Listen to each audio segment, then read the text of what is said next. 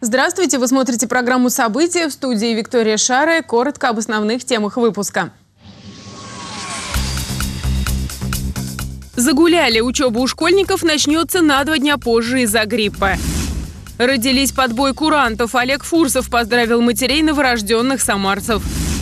Сокол вместо петуха по Самаре в новогодние праздники летала хищная птица. В Самаре на два дня продлили зимние каникулы из-за гриппа. Учеба для школьников начнется не в понедельник 9 января, как планировалось ранее, а в среду 11 января. Это связано с высоким уровнем заболеваемости гриппом и ОРВИ. По данным регионального управления Роспотребнадзора, на 1 января 2017 года в Самаре зафиксировано превышение недельных эпидпорогов на 23%. Всего в Самарской области на конец декабря от гриппа привили почти 1 миллион 340 тысяч, что составляет более трети населения. 2017 год должен быть хорошим и благополучным. Добрая примета – первый ребенок в этом году – девочка. Показатели рождаемости весьма хорошие даже в первые дни года. Только за три праздничных дня в роддоме больницы Симашка на свет появились 23 малыша. А всего в Самарской области 1 января родились около сотни детей. Марина Кравцова пообщалась с молодыми мамами и узнала, что для них стало главным новогодним сюрпризом. Новогоднюю ночь 2017 Наталья Лагольм точно никогда не забудет. Второй ребенок в семье стал настоящим подарком. Появление малыша ждали только через неделю. Даже имя выбрать не успели. Но мальчик решил преподнести маме и папе сюрприз ранним утром 1 января. Хотя особых переживаний не было. Праздник, который начинался за новогодним столом дома, продолжился в роддоме. Срок чуть попозже был, на пятое число, даже потом сказали на седьмое. Но вот он решил первого появиться. Так вот, новогоднюю ночь я справила дома. Мы спокойно встречали дома с мужем, с малышом. Вот, то есть никаких таких стрессов не было. Но вот ну, пришел, значит, момент ему родиться. Скучать в больнице молодой маме не пришлось, в родильном доме выходных не бывает. Малыши с календарем не сверяются. Мам, которые теперь вместе с Новым годом будут отмечать и день рождения своих детей, поздравил глава Самары Олег Фурсов. В подарок сувениры и сертификаты на покупку детских товаров. Стараемся делать так, чтобы в городе было комфортнее, уютнее. Очень много работы впереди у нас. Мы заботимся и о школах, и о детских садах, и о вузах. Знаете, открыт вот перинатальный центр, кстати, в этом году. Строится центр мать и дитя недалеко от стадиона, тоже вот для всех э, родителей, э, значит, у которых ну, есть какие-то определенные трудности, которым нужно помочь. Поэтому власть очень внимательно ко всем этим проблемам относится. Мамы, в свою очередь, благодарят врачей, которые эту праздничную ночь провели на работе. А работы в последние годы все больше. Рождаемость в регионе и в Самаре, в частности, растет. В прошлом году только в родильном доме больницы Симашка приняли более пяти тысяч родов. На три сотни больше, чем в 2015-м. Но к сюрпризам в новогоднюю ночь акушерам не привыкать. Женщины, идя в роды, знают, э, кто родится, чаще всего. Но, к сожалению, техника нас тоже иногда подводит. И один из случаев, когда э, пришли рожать мальчика, а появилась на свет девочка, и мы еще на протяжении всей новогодней ночи доказывали папе и маме, что они родили все-таки девочку. И в этом году первого мальчика все же опередила шустрая девочка. Как уверяют акушеры, хорошая примета. Уже много веков на Руси существует народная примета. Если в новом году первым ребенком, родившимся на свет, будет девочка, то год обещает быть спокойным, мирным и благополучным. Если мальчик, то хлопотным и напряженным. Самару, судя по всему, ждет хороший год. По крайней мере, так утверждают акушеры роддома больницы имени Симашко. Да и к тому же год может быть богат на приятные события. Только 1 января здесь родились 10 малышей. Марина Кравцова, Григорий Плешаков. События.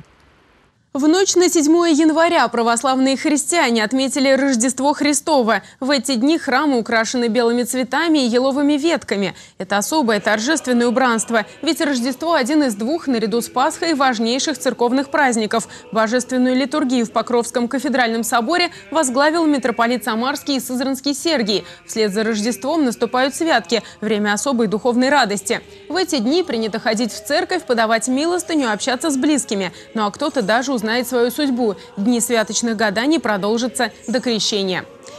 Самарская святыня отправится в Ярославскую область. Особый мощевик в монастырь в Переяславе-Залесском передадут сотрудники службы судебных приставов. В День памяти святого Александра Чегринского в Иверском монастыре прошел праздничный молебен.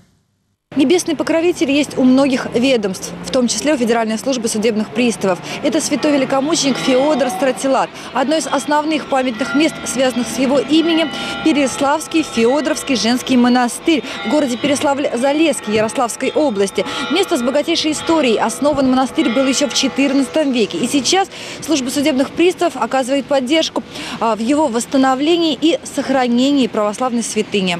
Приставы не только помогают восстанавливать монастырь, служба планирует передать туда особую святыню. Было принято решение изготовить мощевик и с каждого региона привести частичку мощей э, святых уже в мощевике все мощи поедут э, в Ярославскую область, в город Переславль-Залесский. В Иверском женском монастыре в Самаре прошла торжественная служба в День памяти святого Самарской и Сызранской епархии Александра Чагринского. После частицу мощей святого передали судебным приставам.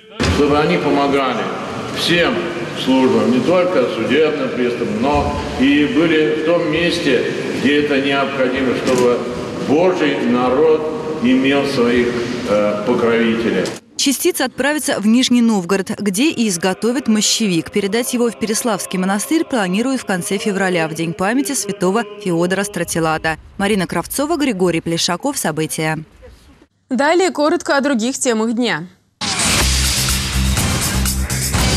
РЖД повышает тарифы на проезд пассажиров в плацкартных и общих вагонах. Тарифы на перевозки в купейных вагонах, вагонах СВ и класса люкс поездов, курсирующих во внутригосударственном сообщении, проиндексированы на 5%.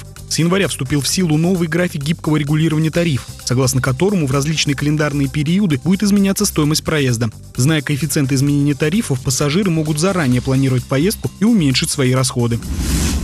С 16 января в Самаре пройдет дополнительное распределение мест в детских садах. Городская администрация рекомендует родителям до 15 января включительно проверить данные, указанные в заявлении в автоматизированной информационной системе управления региональной системы образования. Если в заявлении есть неточности и утратившие силу сведения, необходимо обратиться в МФЦ и внести необходимые изменения. У предпринимателей Самарской области изымают спиртовые настойки. В последние дни 2016 года в Самаре в ходе рейдовой проверки с продажи сняли больше тысячи флаконов хлебного лосьона. В Чапаевске в торгово-остановочном павильоне изъяли 35 флаконов аналогичной емкости тоника медового. В первый день Нового года сразу несколько административных протоколов в отношении индивидуальных предпринимателей, которые торговали в киосках по продаже продуктов этиловым спиртом, составлено в Чапаевске. В Самаре горожане дважды встретили сокола. Первый раз очевидцы сфотографировали хищника в сугробе около площади Кирова. На следующий день самарец увидел птицу возле мусорных контейнеров одного из торговых центров. Видимо, птицу в город привел голод. Горожанин начал снимать пернатого на видео, однако тот оказался непубличным персонажем и улетел. Первый рабочий день недели, 9 января, синоптики обещают облачную погоду с прояснениями. Как сообщили в Приволжском гидромедцентре, в понедельник над 63-м регионом начнет ослабевать Черноморский циклон, который принес в область обильные снегопады. Из-за этого температура воздуха немного понизится. Днем столбики термометров покажут минус 5, минус 10, местами до минус 15. Северный ветер будет дуть со скоростью 6-10 метров в секунду. Во вторник, 10 января, синоптики прогнозируют день без существенных осадков. Дневные часы будет минус 8, минус 10.